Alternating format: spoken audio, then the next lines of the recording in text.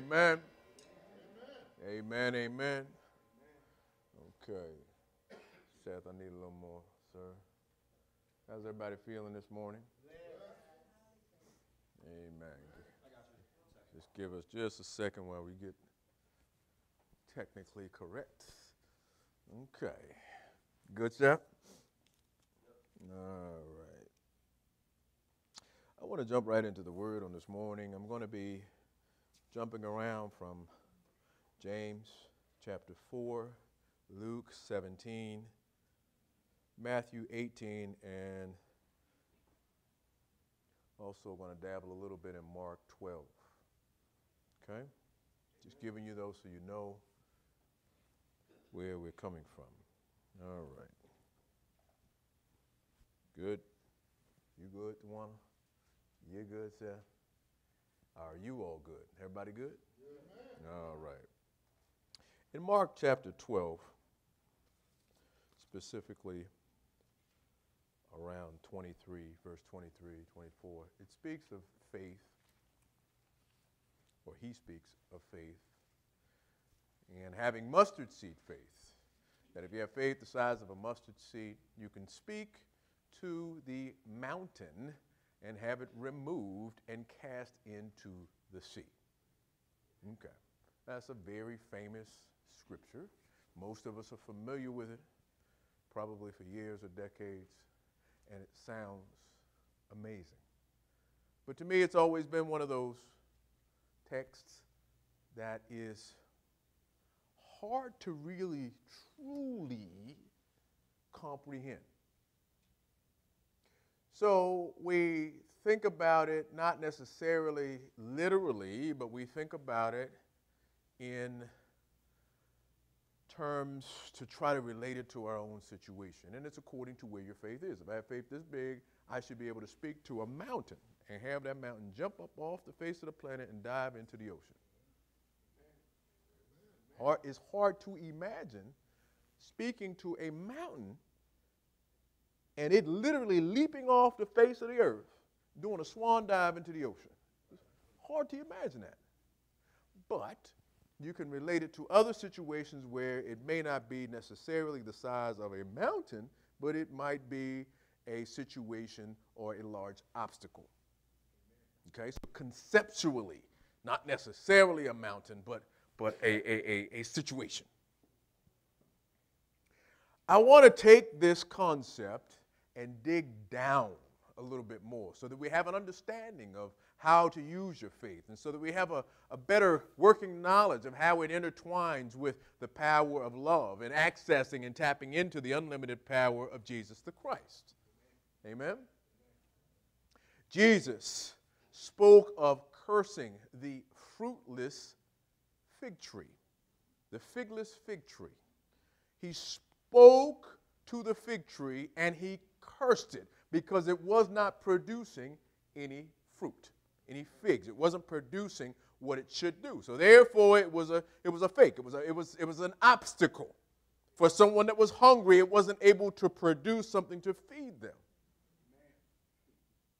Oftentimes, we have obstacles in our lives, and when they first show up, we think it's going to be something that would produce fruit or produce something that would better our situations as far as our lives or our livelihood or the way we love or the way we embrace. And once we really look closely at that situation or that obstacle, we realize that it is not fruitful.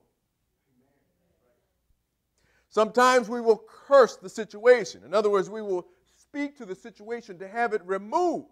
But because it's a tree, it's something that has taken root into our lives, we don't always have the ability to immediately have it removed. How many people know what I'm talking about? Go with me to the book of James, chapter 4, verse 7. I want to take my time in the setup with this. James chapter 4 and verse 7. Speaking about how we speak to the mountain and have it removed. How do we speak to the mountain and have it removed? What does the mountain symbolize? The Bible says, Many are the afflictions of the righteous, but the Lord delivers from all, all of them. All of them. That means no matter what's showing up as an affliction or, or as an opposition of the, the abundance that we're promised, he said that we would have life and have it more abundantly. So he promises if you will follow him. Jesus promises if you will follow him. The whole reason that he came and was died and then was resurrected is so that we could not only have life, but have abundance. Then why is it so often that we as Christians have things that show up that are obstacles that are blocking that abundance? Because what he's doing at every trial and every tribulation is to strengthen your power, to give you more power, to give you the ability to speak to the obstacle and have it removed so that you can see the abundance that that obstacle is blocking. How many people know what I'm talking about? Easier said than done at first glance. Easier said than done until we have understanding. I would imagine that most of you, right now, if you really stopped and think about it, you have a great life.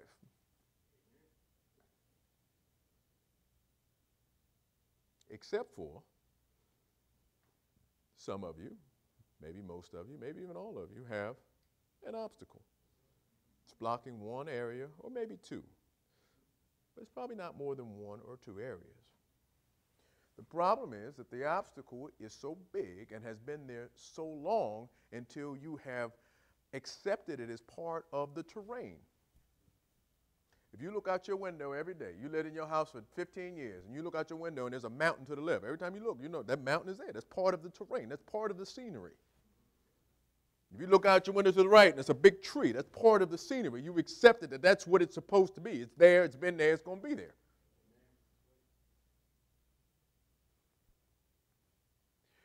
If you look out the window of your life and whatever area is lack, whether it's a need for, you might have a need of healing in your body, whether it's, and it doesn't matter what it is, you might get migraine headaches on a regular basis. And you know what? You just accepted that that's the way it's supposed to be. Okay? The doctor might say that you have cancer might say you have a tumor, might say that, you know, whatever the area of healing that's needed. Might need an area of healing with your family. Might be the kids, or it might be your parents, or it might be your spouse. You may have no longer, you may no longer have a spouse, and you need healing from that. Maybe you're widowed or, or, or maybe divorced and you're still holding on to the pain and the residue from that situation. You may need an area of healing in your finances. Finances. Oftentimes, that's where the biggest trials are for the saints. Finances. Or something related to the finances your house, your car, your job, your future, your retirement, you thought I was going to have this much, and it's this much, or, or it's upside down, or the mortgage went up, or the, whatever, the car blew up. It's finances. Oh, God, how in the world did I get in this situation where I need this, this, and this? And, and the more I pray about it, the more it seems to get bigger, like the mountain is growing. And you look out the window to the left, you see the mountain is getting bigger. Dang, that mountain was bigger today than it was yesterday. Well, I'm just going to look over here to the right because God said I'm blessed. And I'm not going to look at the mountain, even though it's right there in my eyesight. But I'm not going to look, I'm going to ignore it, even though it, it continues to grow.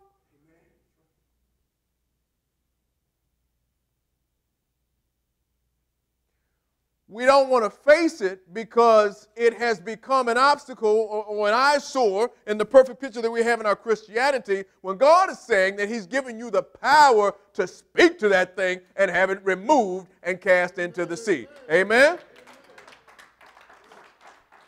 Amen. That sounds good. Sounds good. But how do I do it, though?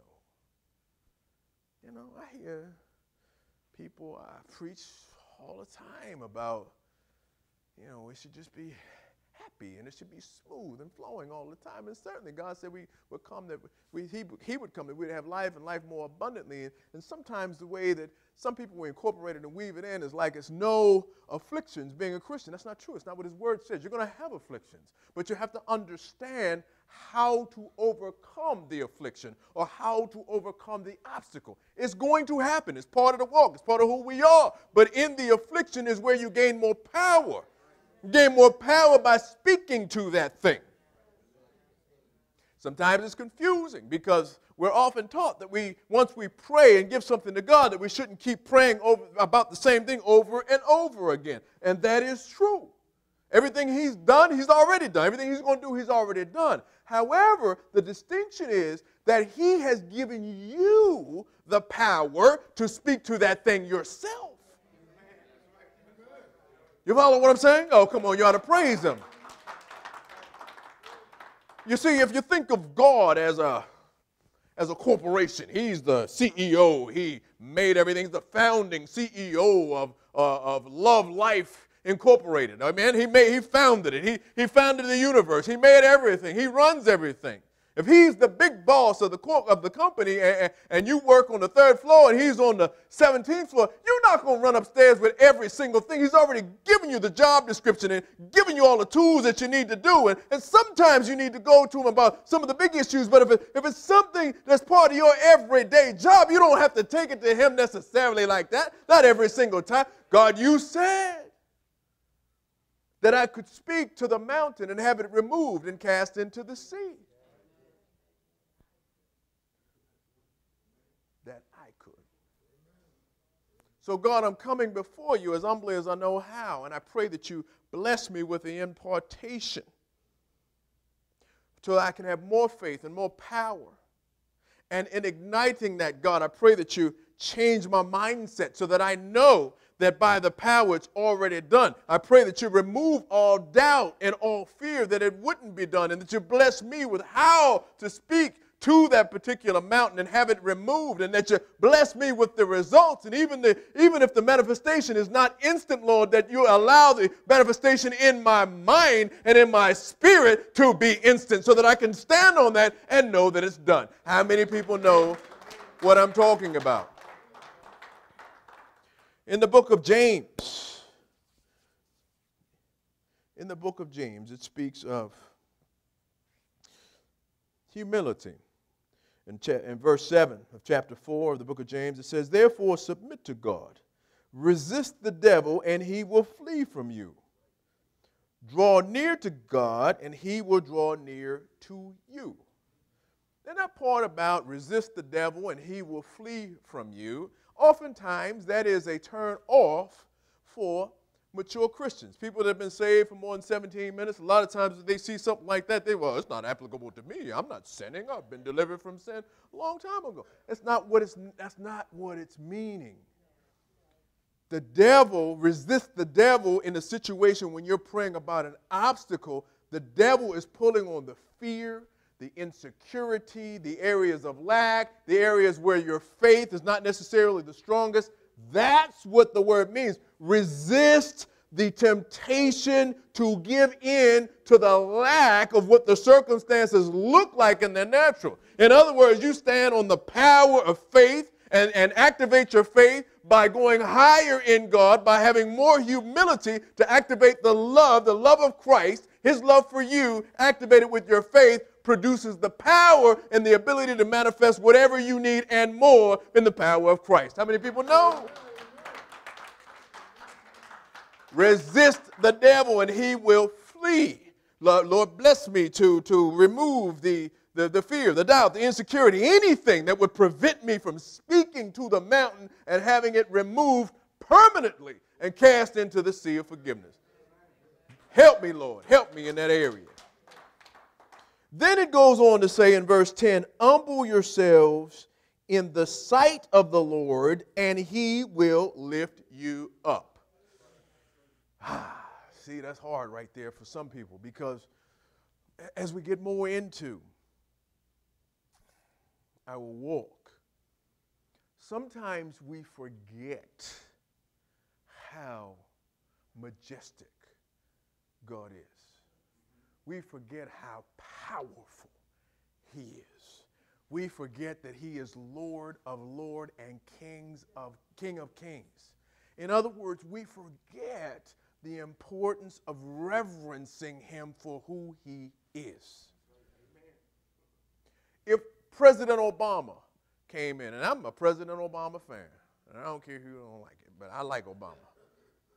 If he came in, they would block off this whole section. The whole, the whole grid square would be blocked off. Secrets, uh, call them, Secret Service would be everywhere. They'd be walking in black suits and talking into the coat.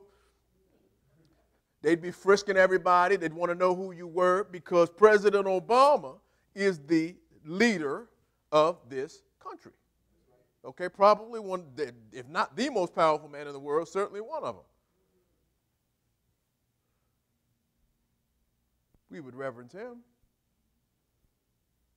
Even for the Obama haters, they'd have no choice but to reverence him. And if they buck, they're going to get dealt with swiftly.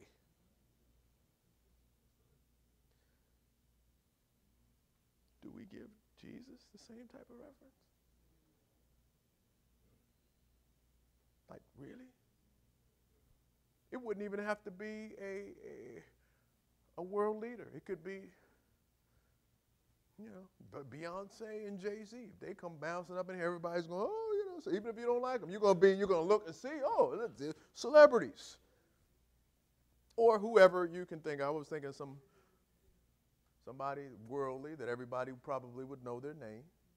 You would reverence their celebrity. You would reverence President Obama's his office, not the man or, or not the woman as the individual, but the power that comes with their position. That's what you would reverence.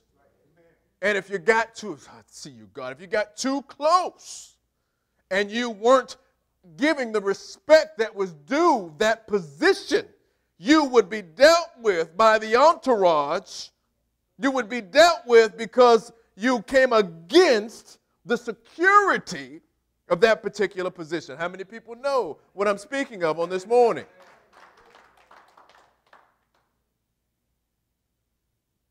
But do we really do that for Jesus? Really? I mean, we often preach about being joint heirs, and certainly we are that. And we, we preach about the power, the privilege that comes with being joint heirs, and we always want to be more blessed, and we always want him to move on our situation, and we always want more, more, more, more. But do we give him the reverence that is due him? Let me stay there for a second. Do you pray the same way when you don't need something as when you do? Same fervency, same frequency, huh? same humility. We want to be more blessed.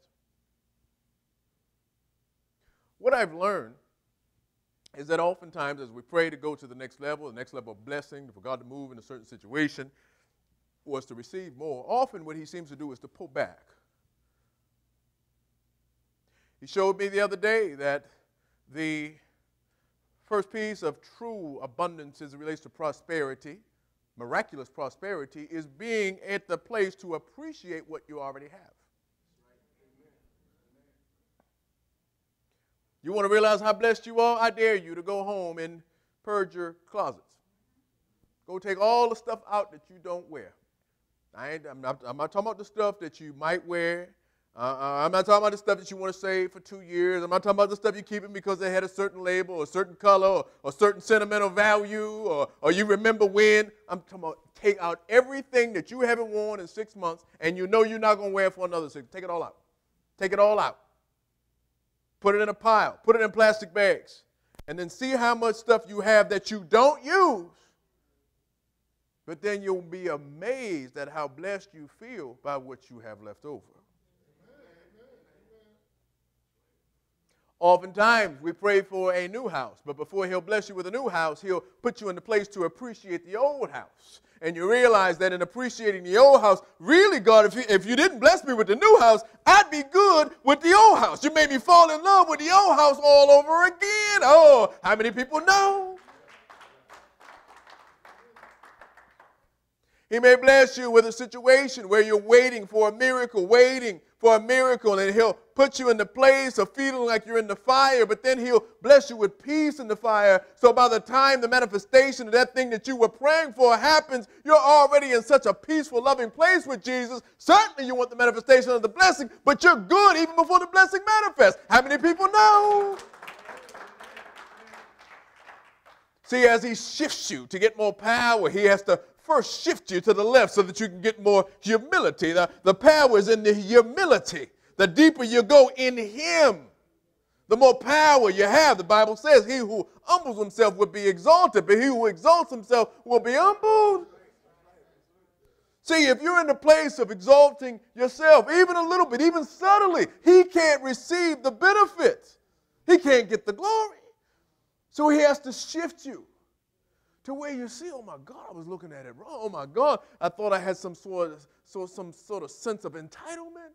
When really I don't have an entitlement for anything. The only thing I am entitled to do is to give you the praise because you're so awesome, God. Oh, you ought to praise Him. You ought to praise Him. He said, Submit to God, resist the devil, and he will flee from you. Resist the devil, so you're looking at the obstacle, the mountain on the left, and, and you're forced to go deeper into the humility on the right. And as you go deeper into the humility, your, your, your faith kicks in because you've, you've been empowered with more love for Christ. The faith and the love together gives you direct access to the unlimited power of God. And as you realize that, you realize that you have a different vantage point because you're praying for something to manifest. And, and somewhere in, in, in, your faith, you know He's already done it. And, and even though it seems like it's taking a while to manifest in the natural, He's shifted you into a place in the supernatural to where you have peace that surpasses all understanding. And, and the peace that He gives you gives you access to more of His love because He's put you in a place of more humility. It's a cycle. The more you get, the more you want.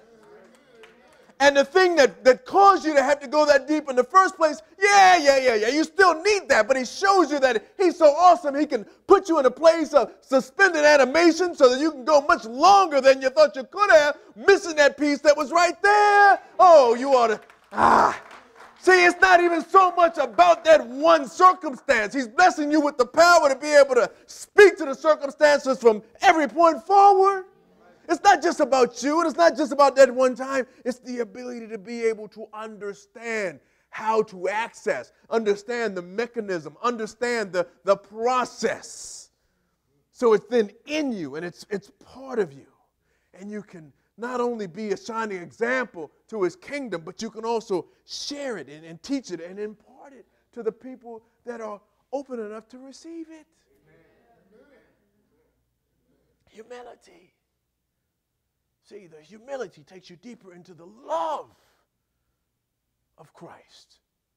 And you can access more of the love for yourself. You can actually fall in love with Christ.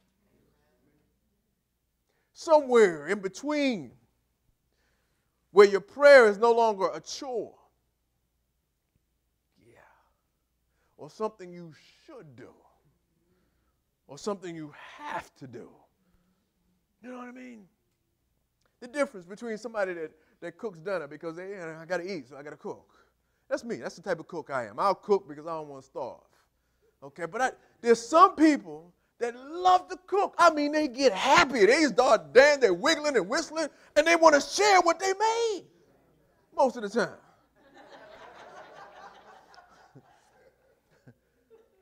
you ever met somebody loves to cook? Or it doesn't have to be cooking, it could be another hobby or interest, or even, even an occupation. Somebody really loves what they do.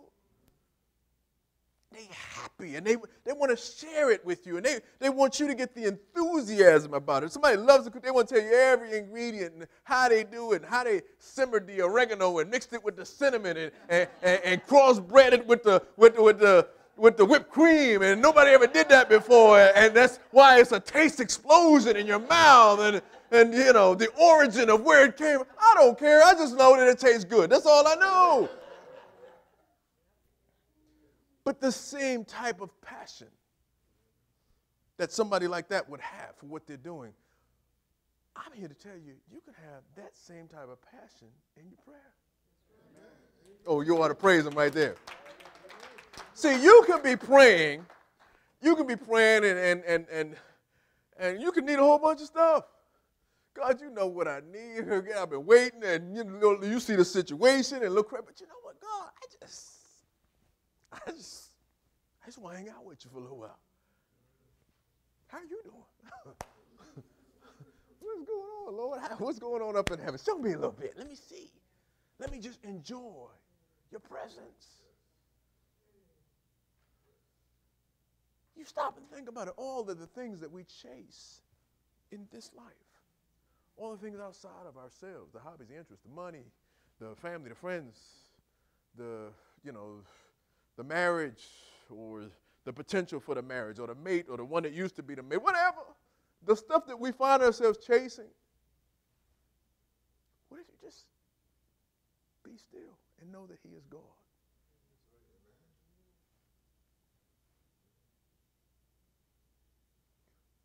If you just, just took 15, 20 minutes out the day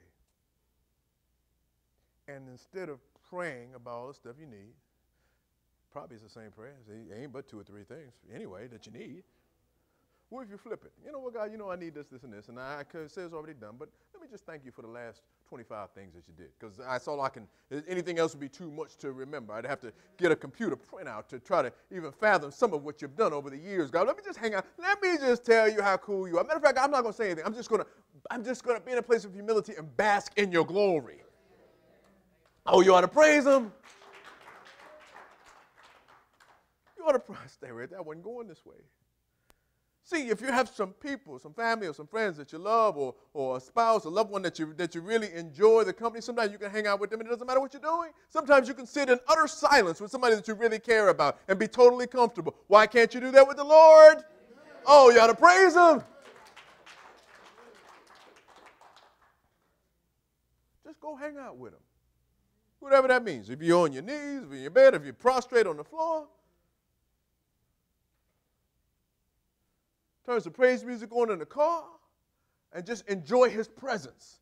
After you get to the place of praise where you feel that he's in the atmosphere. That's what the power of humility will produce. See, the humility puts you in a place to appreciate him more. And then the appreciation is the reverence, and in the reverence is, is the is the the, the, the, the wow, he's really awesome.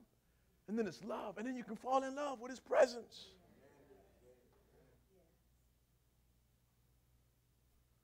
And then you realize that, you know what, I, you know, I still need this miracle. And I believe it's already done, but, but I'm good. And, you know, the way I thought it might turn out, it didn't, but, but God, I see what you did, and wow. And you blessed me with more power, more peace, more patience, more love. And that was all found in the humility. Verse 10 says, Humble ourselves in the sight of the Lord, and he will lift you up in the sight of the Lord. In other words, you, you reverence who he is, you reverence his power, his love, and the way you reverence it in the place of humility is by giving him back more love. Wow, that's deep. What does that mean? Go with me to Luke 17. I'm going to try to close it up. I see that I have already gone longer than I planned to. Luke 17 and 4. Now, I'm going to give you two or three points so that you understand where we're going. First of all, you, you need to stay in the place of forgiveness. Okay? This is oftentimes where you will get tripped up even if a Christian knows that you stay in a place of forgiveness and being loving, sometimes if you're going through your own trial or your tribulation, it puts you in a place to where you're a little bit more grumpy than usual. So your, your patience for other people sometimes is not what it used to be, and you, you might get annoyed or, or, or, or you, you might get uh, moved out of the place of forgiveness because you already are kind of tense. Not you all, but must be some other Christians. You have to remember because the enemy is going to try to use that as an obstacle. He's going to try to get you to be in the place of unforgiveness. Because if, if you're blocked in the place of forgiveness, then, then that means that you're blocked with the complete flow of the power of God. Forgiveness. Verse 14 of chapter 17 of the book of Luke, and it reads, And if he sins against you seven times in a day, and seven times in a day returns and repents, you shall forgive him. You shall forgive him. Him is your brother. Okay? Seven times. Seven times. In the book of Matthew, briefly, chapter 18 and verse 21, it speaks of a king, a very powerful king, and the king was settling accounts among his servants. And as he was looking at the accounts, he had a servant that, that owed him the equivalent of about $10 million in today's money. $10 million. Okay, now remember, this is written thousands of years ago, so a servant would be something akin to what we would call a slave. Okay, so you're a slave, and the king or the master finds out that you owe him $10 million. And if you can't put yourself in that position, flip it. Say you're the king, you're the master, and you find out one of your servants owes you $10 million. 10 million! Some of y'all would be tripping over $25. $10 million. 10 million. Look at your neighbor say 10 million. So the king wants to put you in debtor's prison. He wants to sell off your family, sell your wife one way, sell the kids the other way, sell you another way, so he can get some of his money back. And you go to the king and say, please, I, am so sorry. I don't have it. I don't know when I'm going to get it, but please show mercy. Please don't sell me off. Please don't sell my family. Please don't sell my kids. Or flip it. You're the king, and, and the servant comes to you, and you show mercy. You show mercy. Mercy. Something happens. A little more time goes by.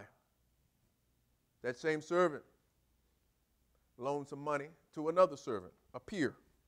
It's not the king and the servant, it's a peer. And they loan $25 to one of his peers and the peer didn't pay the $25 back and didn't have it. And he went buck wild, grabbed him, beat him, threw him in jail because he wanted his $25. And the other servants heard about it. And they went and told the king. And the king was furious. Wait a minute. You owe me $10 million and you and I gave you mercy. I let you go. I left you where you were. I didn't say anything. I gave you love. And now that one of your peers owes you 25 measly little stinking dollars and you went crazy and showed him no mercy, you know what I'm going to do for you? I'm going to put you with the tormentors. I'm going to put you in prison and you're going to be tormented until you can pay me back your debt. Now remember, it's $10 million. How you going to pay that back? It's a debt you can't pay. Well, it's the same thing. Jesus the Christ went to the cross and paid a price that none of us could repay. Amen. Oh, you ought to praise him right there. And what he paid allowed us, by believing in him, to be forgiven for our debts, our trespasses against the Father, being born in sin and shaped in iniquity, it allowed us to have life and to have eternal life and to have life more abundantly. And it's a debt that we could not ever repay. And there was only a couple of things that he said to go along with it. Number one, love your brother. If your brother sins against you and repents, forgive him or her seven times 70. So as long as they repent, you stay in the place of forgiveness. It's not even about them. It doesn't matter what they did. It's so that you can stay right with God Himself. Amen? You ought to praise Him first principle. And a lot of people don't realize how empowering that is if you do it, but they don't they also don't realize how stifling it is if you don't do it because then you're blocked. Okay? Go back to Luke. I'm closing soon. Luke 17. Immediately after that, if your brother sins against you seven times and repents seven times, you have to forgive him. Immediately, in verse 5. Right after that, after they got that principle, you know what the apostles said? They said, Lord, increase our faith. In other words, I got that lesson. I'm ready to go to the next level. I got that. I, I got to stay in the place of forgiveness because if I can continue to give my brother or my sister, then that means you can continue to give, forgive me. If I'm in the place of forgiveness, your, your love, your power is flowing through me. I can access more faith. If I access love, love and faith and with your power, I can, I can speak more things into existence. I can operate more in the place of the miraculous. I can make more things happen in the kingdom. Lord, bless me with more faith. That's what they said. Let me jump with you to verse 7, chapter 17 of Luke, verse 7. The next principle. I want you to catch this piece. I've already talked about it. I want you to understand. It says, And which of you having a servant plowing or tending sheep would say to him who has come in from the field, Come at once and sit down and eat, but would rather say, Prepare me something for my meal. I, I, I, get the concept. Thousands of years ago, you're talking about a slave versus a master. The slave's been working in the field all day. They come in the house or come near the house. You say, you know what?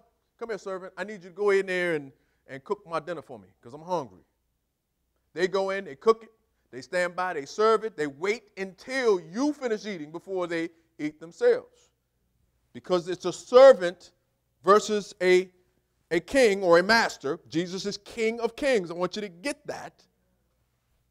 As a servant, would you then say, Well, thank you so much for doing something so, so fantastic?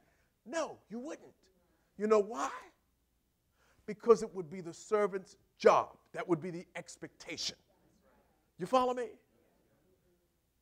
You got up in the morning and you, and you brushed your teeth and washed your face so, so somebody say thank you. No, that's the expectation that you would do personal hygiene. It's, it's, it's your, your, your reasonable service for the position. So if the, the literal interpretation is by being a servant and performing the duties that are expected of you, there's no puffiness. There's no, you, you can't expect God to move because of what you have done because the debt can never be repaid. You, you follow me? In other words, if you if you stand on your works, you would be subject to the law, the Old Testament law. Jesus came under a new deal, so it's only through his grace and his mercy that you have access to his miracle working power. It's not anything you can do. You can't work your way into the position. You follow me? Okay. The only way you can access more of His grace and His love is through the power of the humility. You reverence Him in the humility. You come before Him like a little child. You come with an open heart. You come expecting. You, you come repentant. You stay in the place to where you can continually grow in Him. You, you come to Him like a, like a child would to the Father. See, sometimes as we get saved and we're in church for a long time and we get full of the Word, we get full of the, the, the interpretation and we get full of the traditions, we lose sight of the most important part, which is to come before Him humbly like a little child, to come before Him open with the place of love, to come like a, like a new day. Like a, you ever see a little baby when they wake up and how sweet they are, how innocent they are? If we can stay in the place of that newness when we were baby Christians, that's where you have full access to His power. Amen? So, you stay in the place of forgiveness. The enemy's going to test you. The more, the bigger the miracle, the more you're going to have test. You're going to have crazy people coming at you because the devil's trying to throw you off your mark, especially if you got a strong personality where back in the day you would have yanked somebody or smacked somebody. You're going to really be tested in that area. Forgiveness because you got to stay. No matter what they do. No, I'm not saying sit there and get hit in the head with a hammer. Move out of the situation. But you want to stay in the place of being able to forgive. Okay, if you need to distance yourself, love them from a distance, but stay in the place to be able to forgive. The other side, stay in the place of being humble before God. Humble before Him so you can access the free flowing love between you and Him and Him and you. Amen. So you got two lines love Him. He first loved us, then He teaches us how to love Him. He also says the second thing is to go love your brother. Stay in the place of, of forgiveness so that that part is constantly moving along with the part of loving Him. So you got two parallels moving in the spirit, two parallel bookends. If you stay between those bookends, then you can access the complete power. And if you go to chapter 17, verse 6 of the book of Luke, this is where we were going with the entire message. Amen? Amen. Verse 6. And this is right after verse 5 where the apostles asked for more faith. In verse 6, so the Lord said, If you have faith as a mustard seed, you can speak to the mulberry tree. that's a little bit different than it was in Mark because in Mark it's talking about mustard seed faith. You can speak to the mountain and have it removed and cast into the sea. And it's hard for us to imagine. But if you look at this one, if you have mustard seed faith, you can speak to the mulberry tree. Same concept, different example. The mulberry tree, very big tree, but it has deep roots, very deep and complex root system. And, and a mulberry tree can live for hundreds of years. So it's a formidable, it's a formidable plant. It would be hard to imagine, almost as hard as, as speaking to the mountain and having to jump off the face of the planet into the ocean. It would be hard because, because it's not a tree that could be easily moved because the roots are so deep.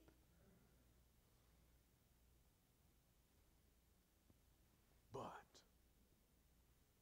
the reason that you can speak to it is because the roots are so deep. You don't only speak to the tree, you speak to the root.